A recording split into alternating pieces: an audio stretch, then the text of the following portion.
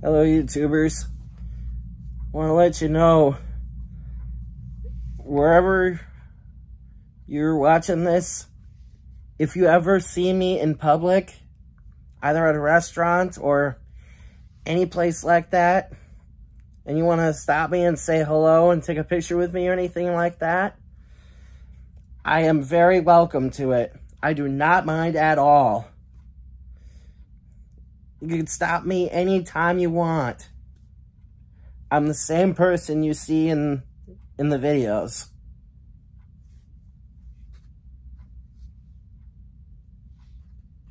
Thought I'd let you know that you're welcome to talk to me in public. God bless.